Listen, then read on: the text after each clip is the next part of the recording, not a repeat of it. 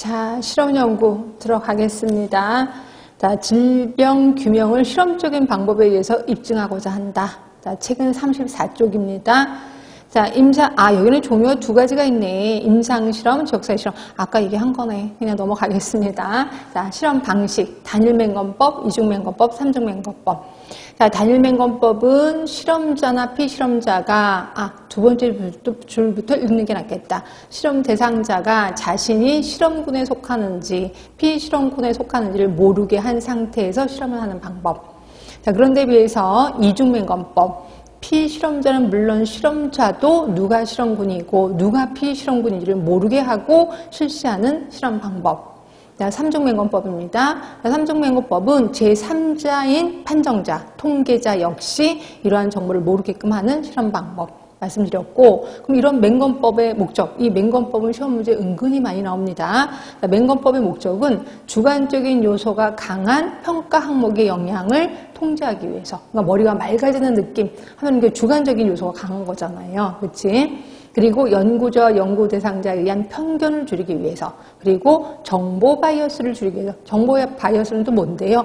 예, 나중에 또 배우실 겁니다. 걱정하지 마시고 일단 정보 bias를 줄이기 위한 거다라고 보시면 될 것 같고 근데 이 실험 연구에는 두 가지가 있습니다. 평행 설계, 교차 설계. 그러니까 평행 설계는 처음부터 자, 연구 대상자가 치료군이면 끝까지 치료군, 그리고 비교군이면 끝까지 비교군. 결국 실험군이 있고 대조군이 있다면 이 사람은 계속 실험군이야. 이 사람은 계속 대조군이야.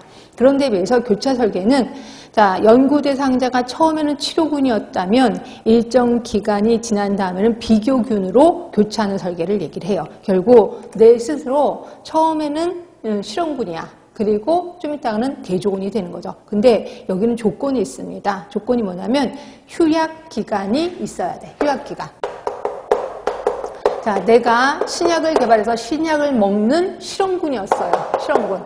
자, 그리고 나면 이제 대조군으로 갈 건데 대조군으로 가기 전에 바로 가는 게 아니라 휴약 기간, 약을 끊는 기간이 있어야 되는 거죠. 왜? 그다음부터 비타민 C, 미약을 먹을 거거든요. 결국 처음에 먹었던 그 치매약, 그 신약 하고 그 다음에 위약을 먹는 과정에서 비타민 C인 위약을 먹는 과정에서 그 약을 끊는 기간, 휴약 기간을 좀 둬야 된다. 왜냐하면 이거 서로 둘 간에 또 상호작용을 일으킬 수 있잖아요. 그래서 여러분들은 아, 휴약 기간을 둬야 되는 게 예, 교차 설계구나라고 머릿속에 좀 기억을 해주시면 좋습니다.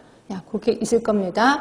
자, 거기 보시면 그 약, 각 연구 대상 환자가 자신의 비고군 역할을 하도록 만든 설계인데 이렇게 휴약 기간을 가져야 되는 이유는 먼저 시행한 치료 약에 의해서 그 약에 잔류 효과가 있을 거 아니에요.